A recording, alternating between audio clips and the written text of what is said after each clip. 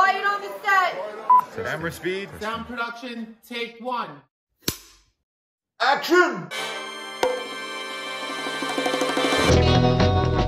Welcome to From Beneath the Hollywood Sign. If you love old movies, Hollywood history, or the golden age of filmmaking, you've come to the right place. This is the podcast that talks about amazing stories of Tinseltown from another era. Hear fascinating conversations with writer producer Steve Cubine, who quite literally lives just beneath the Hollywood sign, and actress writer Nan McNamara. Now, your hosts, Steve and Nan. We got an email from a listener named Brandy, and she had a fantastic idea, in addition to telling us how much she loves the podcast. Yes. she had a great idea that we're going to start doing. She did. She had the great idea.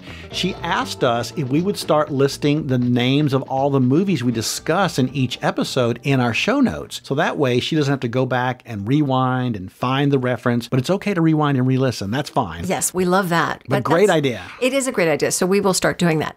I'm going to start this episode off in a very controversial way. Do do it. So we're going to be talking about character actresses or Or character actors who are female. pick which one you like. Because of the time period that we're talking about, my mind goes immediately to actress because Yes. that's what female actors during that time period were referred to as. Exactly. We know that in 2024, the term actress can have a diminishing quality. We certainly want all actors to be paid what they are worth. But because we're talking about the 30s and the 40s and the 50s, we are going to use actress. We're going to use actress, folks. Brace yourselves.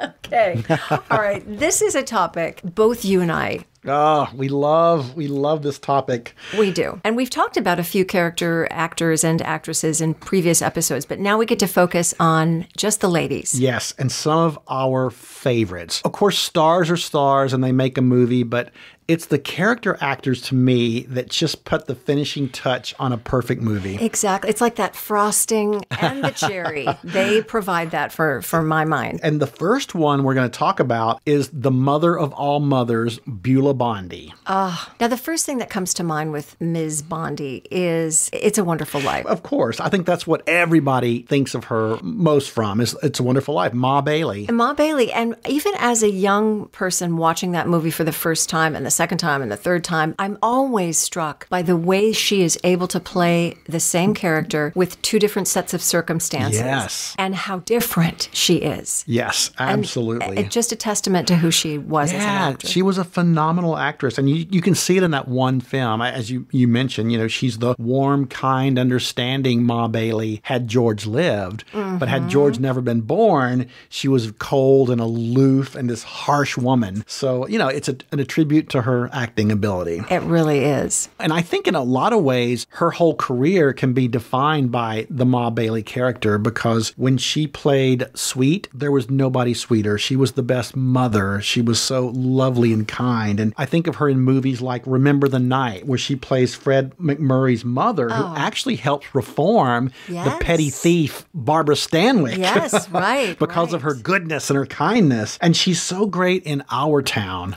as William Holden's mother, Mrs. Gibbs. Again, just this lovely, quintessential motherly love that just oozes from the screen. Yeah. And I also think of another one that comes to mind is it's not a mother role, but it's as the adoption agency pro who provides a child for Cary Grant and Irene Dunne in Penny Serenade. I'm sorry, if you're not crying after those scenes, yeah, there's no hope. You know, when we when I was looking into her long career, I was struck by the fact that she was on an episode of The Waltons Yes, a couple of episodes. and and she won an Emmy. she did, which just talks about the longevity and the depth of her career. and that Ellen Corby, who she was in It's a Wonderful Life with, is also Plays in, yeah, Mob. Uh, yes, also as the little lady. Yeah. Um, you know, the one thing I love about Beulah Bondi is, you know, we talked about her good side. She could also play pretty evil characters. And, Yes. And, you know, not that frequently, but in Finishing School, which is a wonderful 1934 movie, she plays this manipulative head of an exclusive girls' boarding school, and she makes life miserable for Ginger Rogers and Frances Dee She's just horrible. You can't even imagine it's the same woman. And then she's also in a movie called Bad Boy from 1935, and she's James Dunn's Horrible, disapproving mother. So, you know, there, there was a little dark side to Beulah There- sometimes there too. definitely was and i think that really is a testament to what a wonderful actress she was because Yeah. that's not an easy thing to do usually you get cast as one thing or another and as we'll talk about with other character Yes. actresses they do get typecast They and do get typecast, beulah did a lot beulah was at both ends of the spectrum. She really did. She was nominated twice for an Oscar uh, for Best Supporting Actress. The first time was in the movie The Gorgeous Hussy from 1936, and she played our First Lady, Rachel Jackson, in a pretty stunning performance. It's a powerful but small part, but you don't forget her mm-hmm. once you watch that movie. And her second Oscar nomination was for the wonderful movie that I adore called Of Human Hearts uh-huh. from 1938, where she played Jimmy Stewart's kindly mother. In fact, Beulah Bondi was often called Jimmy Stewart's mother in Hollywood because she played his mother so, So many, many darn times. times. Yeah, and, yeah. and so beautifully. yeah well beulah bondi we miss you And you know, I just want to say one last thing about Beulah Bondi Yeah, before we please. move on is if you only watch one Beulah Bondi movie besides It's a Wonderful Life, go check out Make Way for Tomorrow, 1937. It's one of the rare times where she plays the lead, and it's this incredibly beautiful and sentimental drama where she and Victor Moore play this elderly couple who ended up being separated in their older years because of greedy children and circumstances, and it is heartbreaking and is one of her best performances of her career. Make way for tomorrow. We will put that in the Yes. show notes. Our next actress is someone who I just recently saw in something Elizabeth Patterson. Yes, we love Elizabeth Patterson. Born in 1874, she passed away in 1966. Also had a long career and is a Tennessee she gal. is a Tennessee gal. I She- love that. She was born in Savannah, Tennessee. I think most people know her for playing the kindly Mrs. Trumbull. Yeah. the neighbor on I Love Lucy, who, who started out as this really crabby lady who was all against little Ricky Right. because it was an adults only building. But then she met him and she fell in love with him and she becomes his babysitter. Yes, I think yes. that's the thing that most people know her from. But she just had these soulful, earnest eyes and she had this little scrawny body and she kind of would shuffle around in a very comic way. She excelled, I think, in comedies and dramas equally. I, I do too. She wasn't in, according to my research, a film until she was 52. Yes, it's very true. Uh, because she got her start in college and theater, and then she went to Chicago. She got very active in the Chicago theater scene, and she made her Broadway debut in 1913 in a play called Everyman. And she mainly stayed in Broadway during her 20s, 30s, and 40s. Right. And then she finally made her screen debut in her 50s called The Boyfriend in 1926. Wow. She is also in Remember the Night. Yes, as the aunt of Fred Yes, MacMurray. right. She was so great at, like Beulah Bondi, playing these kind, loving mothers. She's in so many great movies. She's in Tarnished Lady, 1931, with Tallulah Bankhead. Also, Bill of Divorcement, 1932, as Katharine Hepburn's aunt. No Man of Her Own with Clark Gable and Carole Lombard. I mean, she's just in so many great movies of the era. And working with so many huge stars. So many great stars, but I think some of my personal favorite performances of hers, she is unforgettable in Tobacco Road, mm. where she plays Charley Grapewin's troubled wife in that whole Depression era drama. She's incredible. And she's also really good. And she played this role twice, which I find very interesting. She's in the 1939 film The Cat and the Canary mm. with Bob Hope and Paulette Goddard, but she'd played the role of Aunt Susan in the 1930 version called The Cat Creeps, which I found very interesting. And it's based on a play by John Willard. So, you know, I love that she can play it in 1930, she can play it in 1939. Right, right. A couple of other movies that listeners may want to check out of hers. If you haven't seen Sing You Sinners, uh, she plays Bing Crosby, Fred MacMurray, and Donald O'Connor's mother. She's great in that.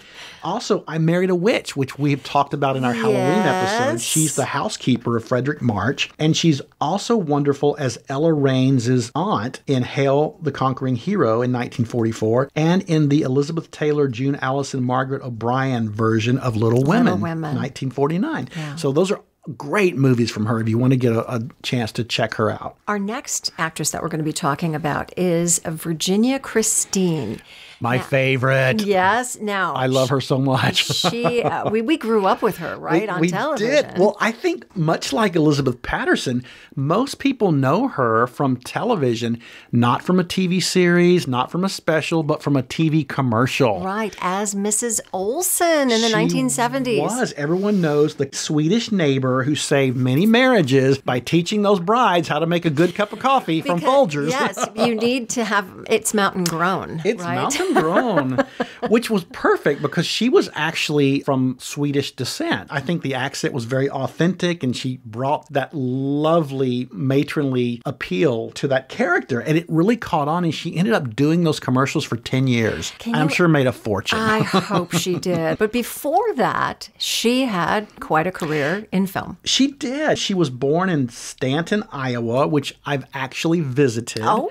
I one time I shot a movie in another part of Iowa, and on my day off, I drove to this little tiny town of Stanton, Iowa, in the middle of cornfields. And the beauty is, in the town, they have two water towers, and they've painted them to look like a cup of coffee and a percolator in honor of their hometown girl, Virginia I Christine. love that. that is so sweet. Yeah, so it's kind of fun. She was raised there in Iowa, but her family moved to Los Angeles. And when she got there, she started training with a great actor named Fritz Feld, whom she ended up marrying. And they had one of the longest and probably happiest marriages in Hollywood, which I love. But she started out as a leading lady. I mean, she she was blonde, she was blue-eyed, she was beautiful, and she slowly made the transition over to character actress. Yes. Which I find interesting. Yeah, I do too. And probably fairly rare that that happens. You know, some of her first films, actually, her very first film was a movie called Edge of Darkness in 1943, which starred Errol Flynn and Ann Sheridan. And in it, she played a Norwegian peasant girl. So, once again, typecast as the mm-hmm. Scandinavian beauty. Mm-hmm. Those good Midwestern roots. Exactly. But one of her early movies, now it's a cult classic. She was cast in The Mummy's Curse in 1944, where she plays this ancient Egyptian mummy who comes back to life and wreaks havoc on everybody. So, but people that love that sci fi monster horror genre, I mean, everybody knows her from that. Yes, yes. And then she also was in a film noir favorite, The Yes. Killers. Yes, and she's so good in this movie because she has this thankless role of playing Burt Lancaster's girlfriend, at least his girlfriend until he spots Ava Gardner. Uh-huh, but she's smart enough to know that she doesn't stand a chance against Ava Gardner. Right. So she very graciously bows out and marries this nice police guy played by Sam Levene and still stays friends with Burt. But it's a really lovely performance, I think, from her. And she also appeared in the remake of it because they remade that film in the, I think, the 1960s with Lee Marvin and Angie Dickinson. Oh, And she gets to play in that version as well. Now, I, as we said, know her from the Folgers commercials. And so I was used to seeing her in that way. And then I saw Guess Who's Coming to Dinner. Ah, yes. and I went, wait a minute, that's the lady from the Folgers commercials. That lovely, kind woman can be such a racist, horrible person. Oh, Such a racist, horrible person. That scene,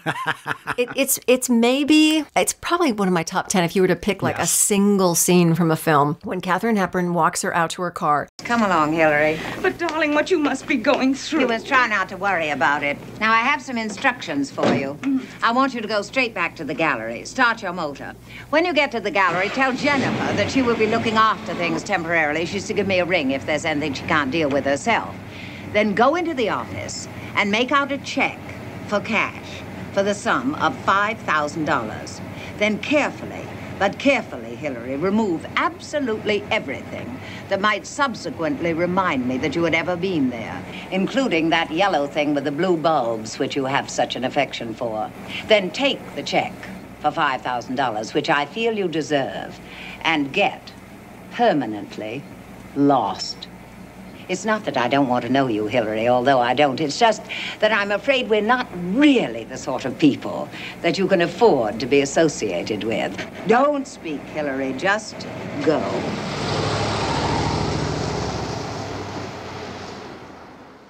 It, it's just it's genius. it's genius, It, and it truly is. And she was such a she was so awful. awful, awful, awful. Well, I think that was the beauty of Virginia Christine because she could play lovely and she could also play cold and aloof and bitchy like nobody's business. And and it's probably more fun to play to play the latter. right? Exactly.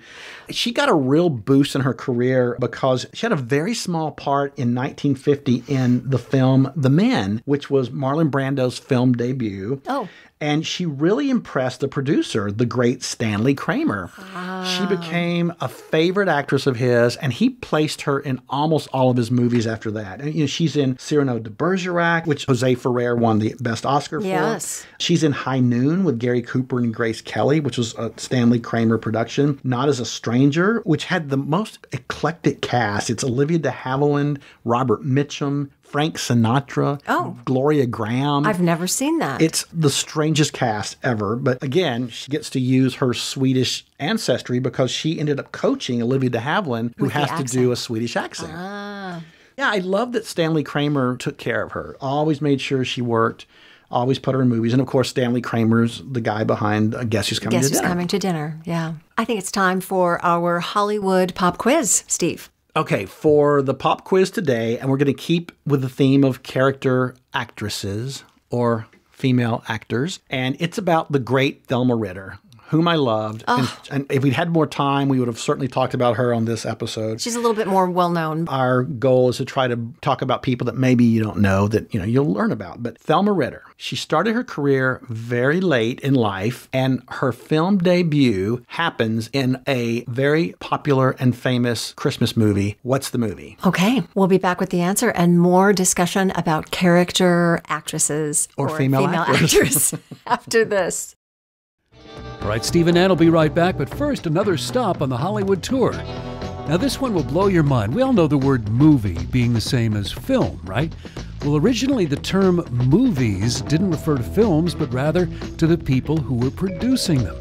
You see, it was widely used with great scorn by early Hollywood locals. Those people disliked all these invading Easterners, the people who were moving into Hollywood. Those people moving in were called the movies. And now back to Steve and Ann from Beneath the Hollywood Sign. Let's talk about the lovely Sara Haden. Sara Haden, again, one of my favorites, but I say that about all of them because I love them all. but Sara Haden has a special place in my heart because I grew up watching reruns of the Andy Hardy movies. Oh. I don't think oh. anybody knows these movies anymore, but it was this wonderful series from MGM about the Hardy family, headed by Lewis Stone as Judge Hardy, his wonderful wife, Fay Holden, and there was Andy Hardy, played by Mickey Rooney, and the sister Marion Hardy, played by Cecilia Parker. But then there was the matronly aunt Millie, played by Sara, Sara Haden. Haden. And she was Emily's sister, and she's usually in the kitchen. She doesn't have a lot to do, but every now and then, you know, she gets to step up into the forefront and have moments with Andy or with Marion and offer her sage advice as a woman of the world. And I just loved her. She was like this tall, lean, kind of stern faced woman who usually mm-hmm. played baddies, but she's so good in the Andy Hardy movies. I just love her. Well, we just talked about the bishop's wife a few episodes back. Yes, yes. And she has a wonderful role in that as the officious secretary. And even in that, she's very stern and very proper, but of course, Cary Grant is able to warm her heart and she becomes more, she at least Coquettish. smiles. Yes, mm. she's, She's coquettish. coquettish. She is a bit I, coquettish. she so had a crush on Angel Cary Grant, yes. but who wouldn't? Yes, who wouldn't? Who wouldn't? She's a Texas gal. I think she was born in Galveston. Her father was a doctor. Her mother was an actress, which was rare for that mm. time. And she followed her mother's footsteps. She started in radio. She had this radio show for you know many years called, and I love the name of this, Moonshine and Honeysuckle. it was about small, you know, a small southern town. We should have called our podcast that. Totally.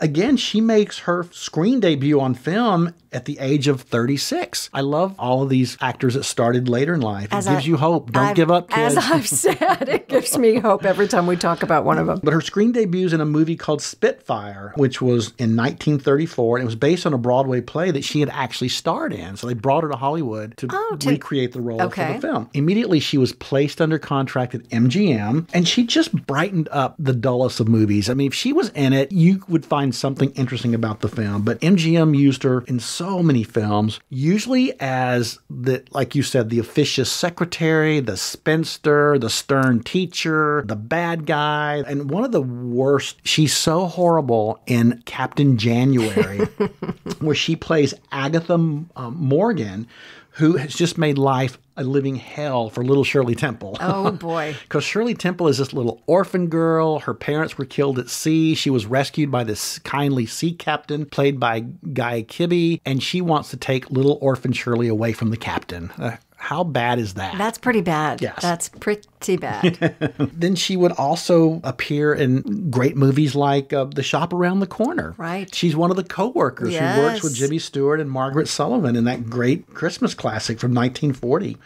I think one of her sweeter roles, and I love this, and it's hard to find, but she's in one of the Our Gang movies called Comeback Miss Phipps from 1941, and she plays the gang's beloved teacher, Mrs. Phipps, who unjustly gets fired. So the kids take it upon themselves to get Mrs. Phipps her job back, and comedy and craziness ensues. but it's a great movie, and she's really, really wonderful in it. And you can see why the kids loved her so much. and she's also in Our Vines Have Tender Grapes in Yes. 1945. I mean, blink and you'll miss her. I mean, she has such a tiny, tiny part as one of the townspeople friends, but you always gravitate towards her. She Yes. just had one of those faces and, and that presence about her that I think was wonderful. One of my favorite movies that she's in is a movie from 1934 called Undercover of Night. And it's really a strange part for her. and it's kind of bizarre. And I can't believe I'm talking about it, but.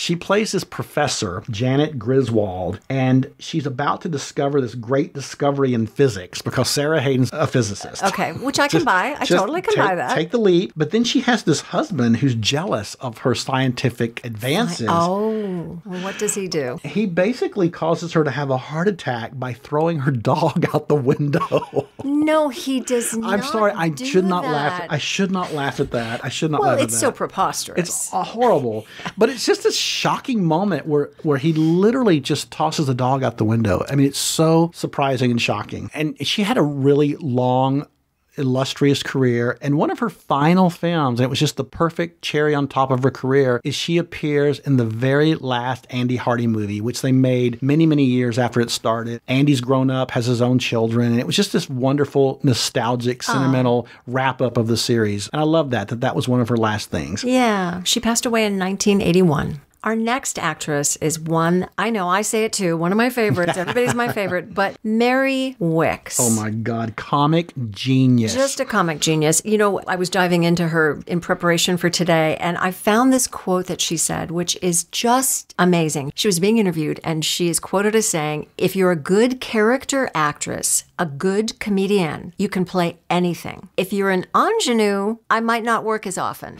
they have a harder nut to crack, ah. which I love. I because love she's- that. She's absolutely right. And she really lived that out. Oh, absolutely. I, I think if you're smart enough to identify yourself as a character actor, you will work for decades. Yes. I loved her physicality. She had that lanky frame, she had that hawk like nose, she had that froggy voice. She always played those no nonsense housekeepers and nurses, Nurses, and secretaries yes. and busybodies. And I mean, the minute she was on screen, I could not take my eye off of her. Yeah, agreed. In any movie. Agreed. And I don't think she's ever better than she is in The Man Who Came to Dinner oh my gosh. as Miss Preen, the Yes, nurse. and learning that she originated that role on Broadway makes perfect sense with Monty Woolley, with course. Monty Woolley, absolutely. And their chemistry, that sort of antagonistic chemistry they have, is perfection. Yeah, she really is able to straddle this line of being tough, but not in a mean way, in Yes. just a no nonsense. Like you said, Yeah. you you are not going to mess with her. Another good example of that, and she's also playing a nurse. She's in Now Voyager from 1942. She plays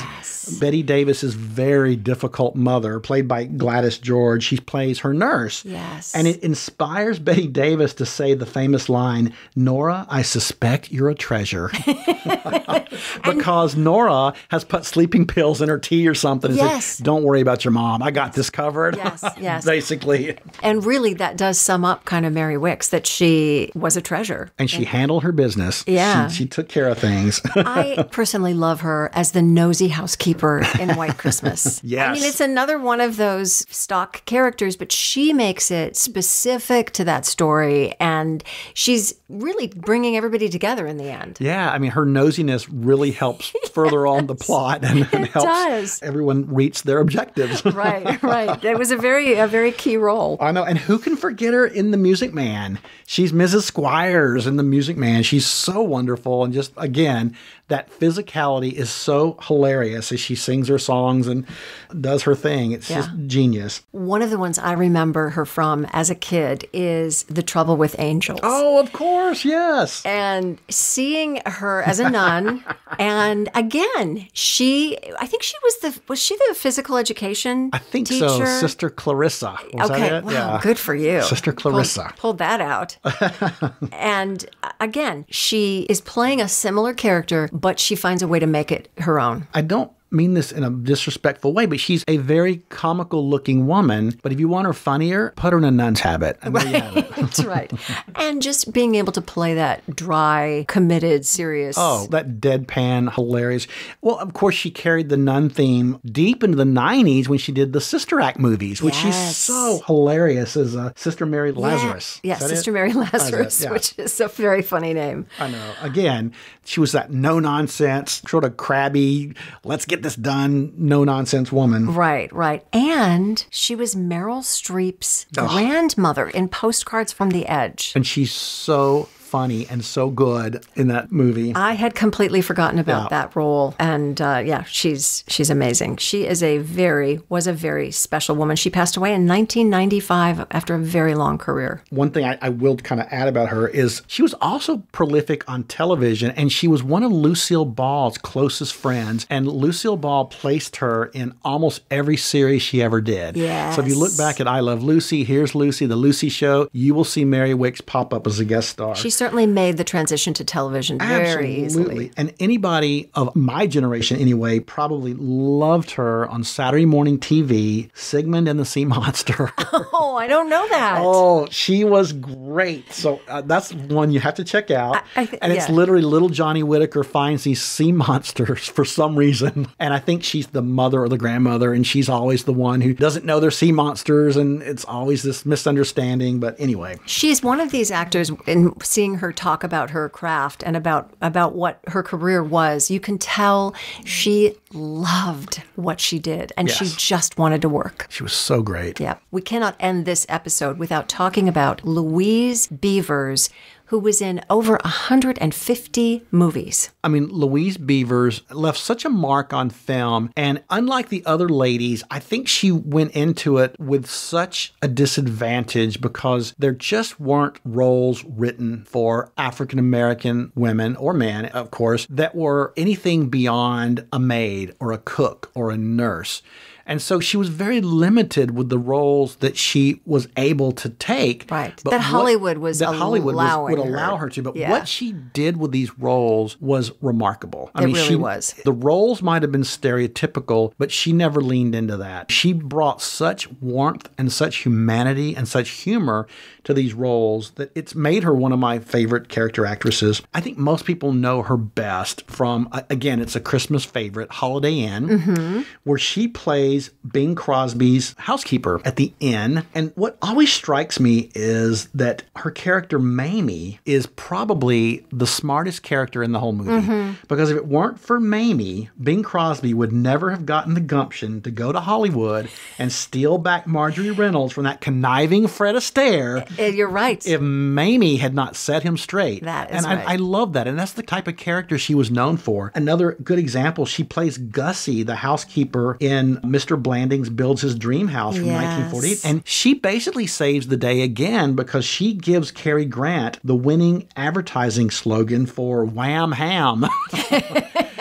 if you're not eating wham, you're not eating ham. Ham. Right. Again, she's the smart one. She's the one who saves the day. But it's just so unfortunate there weren't roles beyond that scope for her because I think had there been, or had she been alive today, she would be taking on roles that Viola Davis and Octavia Spencer play. Absolutely. You know, very complicated women that, that are more than just the help. Right, more than a stereotype. She did have an opportunity in a 1934 film called Imitation of Life. Yes. Which, as you say in the blog, should have earned her an Oscar nomination. She's so wonderful in that film. It's just heartbreaking. there are problems with that film as we look at it. so in many problems. Today's lens, but her performance as Delilah is, as you said, it's heartbreaking.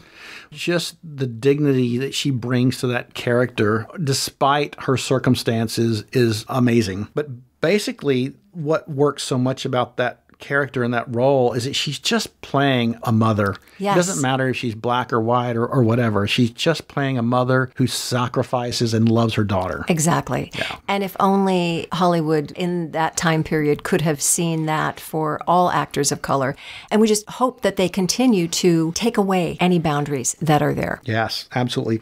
Louise Beaver, she was born March 8th, 1900, in Cincinnati, Ohio. Um, her family moved to Pasadena when she was a child. And she, it's, this is, I find this interesting. She started her career as a member of the Lady Minstrels, which was a group of these young women who staged amateur productions and appeared on stage at the Loew's State Theater. Yeah. And an agent for black performers saw her performing as a lady minstrel and uh, offered her the opportunity to audition for a, a film. And she made her screen debut in a very small role in the very famous version of Uncle Tom's Cabin from 1927. Again, a movie with problems and stereotypical characters, Characters. but I think important in the historical sense of the film history. Right. And then after that, her career just took off. She appears in Everything. dozens and dozens Yeah. and dozens of movies. You know, usually The Maid. She's Constance Bennett's maid in What Price Hollywood in 1931. She's the hilarious maid of Mae West in She Done Him Wrong in 1933. She's Bebe Daniels' maid in 42nd Street in 1933. So she got the maid thing down. Yeah. Yeah. But she got a really rare chance to play something other than the maid. And I've never seen this movie, and it's very hard to find. I would love to see it.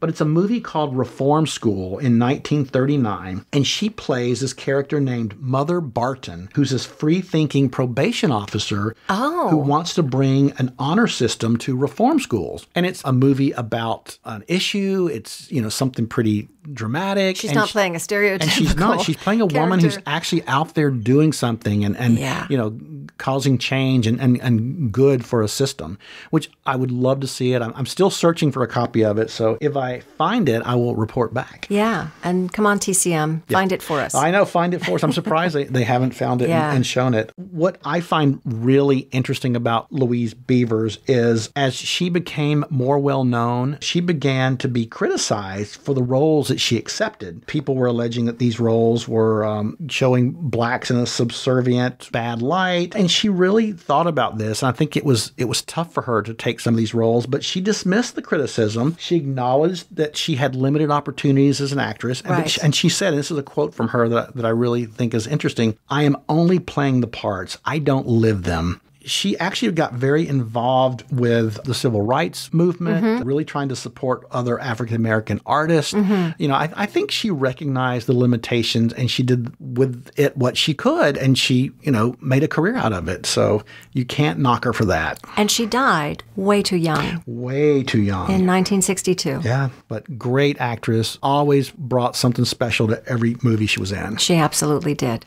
I think we could talk about so many more. Oh, so many more. Agnes Moorehead, Mary Boland, We got to do a whole episode. Edna May Oliver. Moorehead. I could Yes. go on and on. Yes, Charlotte know. Greenwood. Charlotte Greenwood. Mildred Natwick. well, you know, actually, if you go back to the original blog, we talk about 15 actresses. So there's a lot of actresses we didn't get to that you can read about in the blog, which you can find at frombeneaththehollywoodsign.com. And we'd love it if you would follow us on social media. Our handle is at From Beneath the Hollywood Sign. Gee, what a surprise, right? and you can find us on Facebook, Instagram, and on YouTube, where you'll also see some photographs of the people that we've been talking about. Before we go, let's give the answer to this week's Hollywood Pop Quiz. Yes. And the question was in what holiday film does the great Thelma Ritter make her screen debut? And she was, I think, in her 30s at this point. I don't know. Oh, I'm shocked. you, of all people, Nan. She made her screen debut in The Miracle on 34th Street. Oh, that was her debut. As she played the mother of the little boy in line to see Santa Claus. And she's hilarious. She is hilarious. She's the one who gets the ball rolling on the whole idea of suggesting that they go to other, Other stores, stores, and she's toys, like- and she loves it. Yeah, she takes that Yes. ball and runs that, with it. that was her screen debut. So that's it for us today. But if you have any questions, you have any comments, you have any uh, ideas for a podcast you'd love to hear in the future, we'd love to hear from you. You can contact us at info at frombeneaththehollywoodsign.com. That's this week's view. From Beneath the Hollywood Sign, You've been listening to From Beneath the Hollywood Sign with Steve Cubine and Nan McNamara, the podcast that celebrates amazing stories of Tinseltown from its golden era. Join us next week for another episode and learn something else about Hollywood you probably never knew. Take a moment and give us a five star rating and a positive review. And tell your friends about us too. It'll help grow the podcast. Visit Steve's website at FromBeneathTheHollywoodSign.com. The executive producers are Steve Cubine and Nan McNamara. Executive producer and post production supervisor Lindsay Schnebley. This podcast is part of the Airwave Media Podcast Network. Visit airwavemedia.com to listen and subscribe to their other fine shows like The Box of Oddities and The Shallow End with Schnebley and Toth. Copyright 2024, all rights reserved. That's a wrap.